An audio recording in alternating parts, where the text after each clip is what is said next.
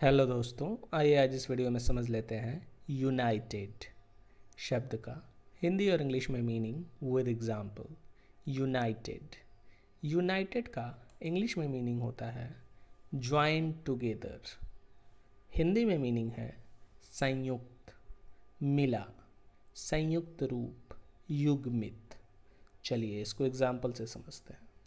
The team is united in their goal to win the championship team championship जीतने के लिए, जीतने के अपने लक्ष्य को लेकर एकजुट है। The team is united team एकजुट है या संयुक्त है। इन देयर गोल अपने लक्ष्य को लेकर। To win the championship championship जीतने के लिए। गोल का मतलब है लक्ष्य। यूनाइटेड का मतलब है एकजुट होना या संयुक्त होना या मिलजुल कर होना। तो इस वीडियो में इतना है। इस वीडियो को लाइक करें। चैनल पर नया है तो इस चैनल को प्लीज़ सब्सक्राइब करें।